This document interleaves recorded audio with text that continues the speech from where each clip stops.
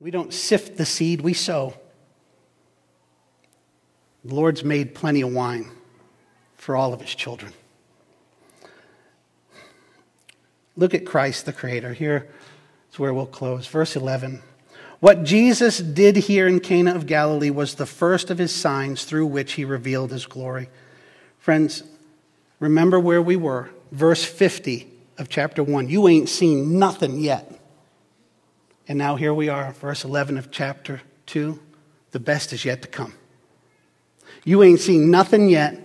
The best is yet to come. All in Christ. Note, too, the use of the word sign versus miracle. John wants to make sure that you and I recognize that these signs are to point us to Christ.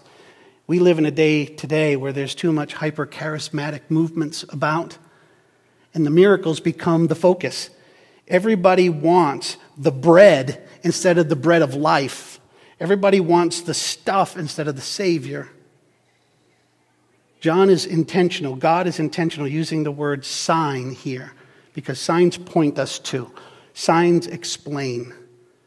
The whole idea here is that the implication of these miracles are far more important than the application of these miracles. This is what God is bringing to you and to me. So much. This is to show his glory. And I, I wish we could spend a, a week just there. Think about this this whole point the issue with the new wine, the catastrophe, the shock of realizing I'm out of wine, I got nothing, was all designed to demonstrate Christ's glory. This is his first public demonstration of his glory. I want to ask you, please pray about understanding his glory. This is the epitome of the celebration, friends. We started with the promise that says that if you will deal with, embrace the problem, you can then enter the party based on the promises and the power of God Almighty. That you and I saw the Shekinah glory. The reference here is back to the tabernacle in the wilderness. You see, Jesus' signs are his rays of hope and truth, demonstrating that he is the king.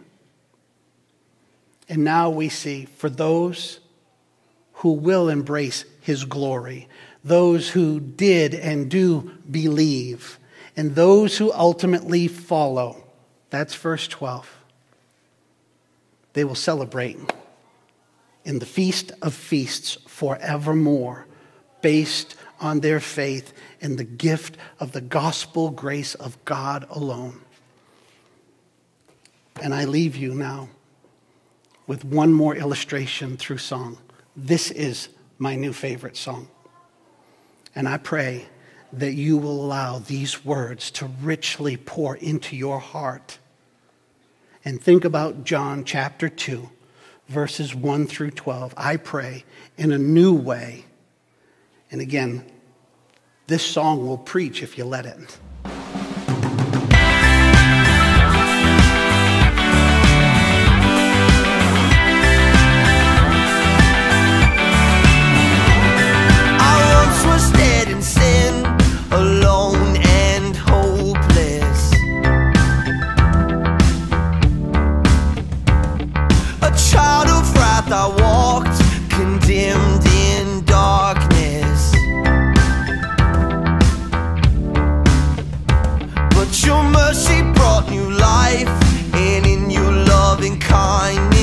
raised me up with Christ and made me righteous.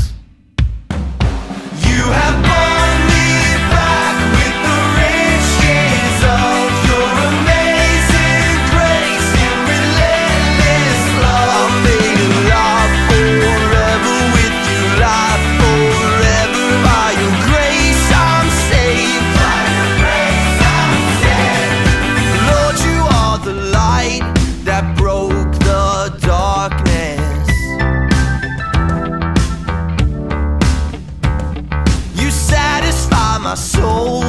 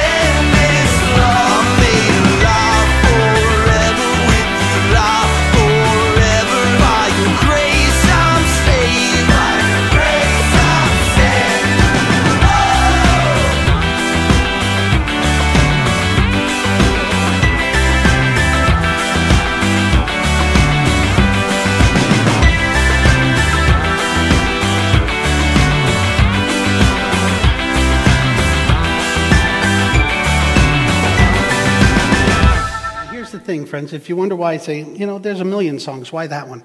That song tells the full gospel. And I want you to think about this. You might have an angry atheist friend. They can't help but to tap their toe to that song. You can't help it. You might think the guy looks goofy. You might be wondering, what are they doing in a woodworking shop? Doesn't matter. Here's truth and love in a way that speaks into our culture. That's missionary material, friends. This is beautiful. Don't go home the same way you came.